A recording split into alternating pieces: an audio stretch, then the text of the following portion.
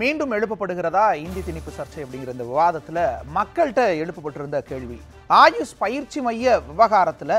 தமிழக கட்சிகள் பெரிதுபடுத்துவது ஏன் அப்படிங்கிற ஒரு கேள்வி எழுப்பியிருந்தோம் அதற்கு மக்களினுடைய பதில் பாஜக எதிர்ப்பை தீவிரமாக எட்டு சதவீதம் பேரும் அரசியல் ஆதாயத்திற்காக அப்படின்னு பதினோரு சதவீதம் பேரும் இந்தி திணிப்பை தடுப்பதற்காக அப்படின்னு இருபத்தி ஐந்து சதவீதம் பேரும் மொழி உரிமை காக்க அப்படின்னு ஐம்பத்தாறு சதவீதம் பேரும் தங்களோட கருத்துக்களை தெரிவிச்சிருக்காங்க மொழி உரிமை காக்க அப்படின்னு ஐம்பத்தாறு சதவீதம் பேர் தங்களோட கருத்துக்களை தெரிவிச்சிருக்கிறாங்க